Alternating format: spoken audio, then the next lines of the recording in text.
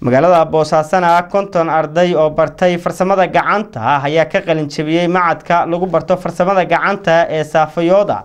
Sida faahfaahinta warkaasi uu inoo ku hayo cabdiqani boos konton arday oo isugu jira rag iyo dumar ayaa ka qalin jebiyey macadka sofyoodo waxaana ay barteen farsamooyinka gacanta oo kala duwan.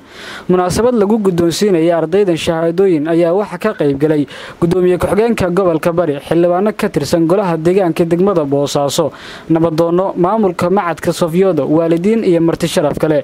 Gudoomiyaha macadka sofyoodo cabdiweli gooni oo ugu horreyn ka hadlay goobta ayaa ka warbixiyey tirada ardayda ka qalin jebisay macadka iyo waxa ay barteen barnaamijka aanu wadno oo ah barnaamijka xirfadaha aynu dhallinyarada ku bareenno. Barnaamijkan waxa uu ahaa markii ugu horeysay oo boosaaso aan ka bilowno bishii novembar sannadkii laba kun iyo shan iyo toban oo dhallinyaro tiradooda ay gaarayso konton dhallinyaro ah aanu u sameynay xirfado shaqo abuur ah iyo weliba in loo sameeyey placement. Qeybtoodna la geeyo meelo kala duwan qeybtoodna aan siino qalabka halkaas yaal oo aad aragtaan oo ay ka mid tahay dawaarada ay gabdhuhu wax ku bartaan oo ay ka mid tahay qalabka korontada oo dhammaystiran oo iyagana wiilasha ay wax ku bartaan. Tirada aanu tababarno waxaa weeye shan iyo toban gabdhood oo aanu barno dawaarka iyo shan iyo toban gabdhood kale oo aanu barno waxa la yihahdo housekeeping oo ah markii ugu horreysay puntlandna barnaamijka housekeeping iyo hospitality ay samaysay hay'adda safiyoodo. Horey puntland uguma jirin waxaa yaraa in dadku ay fahmaan muhiimadda ay leedahay soo dhoweynta iyo muhiimadda ay leedahay shaqo guri. Labadaas barnaamij sidoo kale waxaa sii dheer iyadana korontada oo dhallinyaro toban gaaraysa aynu barno. Afartii biloodba waxaynu qaadanaa guruub cusub dhallinyaro cusub. Barnaamijka faceka ugu horreeya waxa uu soconayaa muddo laba sano ah. Waxaanu jecel lahay in laba boqol oo dhallinyaro ah aynu tababar siino shaqooyinna loo sameeyo.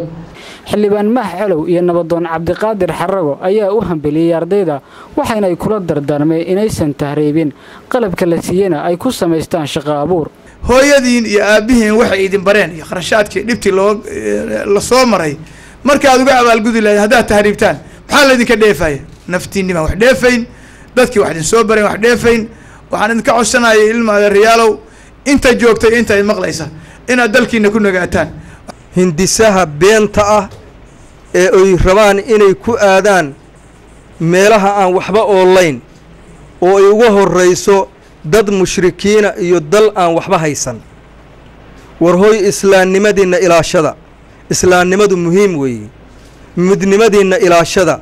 Waxaa la geeyey shaqooyin oo hospitality iyo housekeeping iyagaa waxaa lagu abligareeyey in shaqooyin la geeyey kuwa kale oo taylorinka iyo electronigan waxaa la siinayaa qalab. Waxaan leeyahay waxbarashada aad maantay barateen waa aasaaskii waa furihii nolosha. Waxaan rajaynayaa noloshiinna inuu noqoto furo wanaagsan ood ku intifaacdaan waddankana aad wax ku anfacdaan waalidiintii idin dhalay oo la ogyahay ama aan ka warqabo sida idinku soo koriyeen siday wax idinku soo bareen inaad u abaalguddaan qaar ka mid a ardayda ka qalinjebisay macadka sofyoodo ayaa inta ay munaasabadu socotay ku soo bandhigay goobta waxa ay barteen. Markaa imaanayay waxay ahayd fikradayda koowaad inaan barto xarqaanka. Laakiin markaa imaado waxaa laii sheegay inay jirto waxa la yidhaahdo housekeeping waa isweydiiyey housekeeping weli meelaha xirfadda lagu dhiganaya kuma soo arkin. Marka waxaas yidhaahday jaaniska ka faa'iidayso. Kaba soo qaad maanta haddii aan housekeeping bartay maxaa noqon karaaba idinla tahay? Hoteelkan oo dhan waan qabsan karaa jiefna waa ka noqon karaa. Waxaanan soo saari karaa bilicda hoteelka waxaan ka mid ahay ardaydii dhammaysay barnaamijka muxuu taylorka ama dawaarka.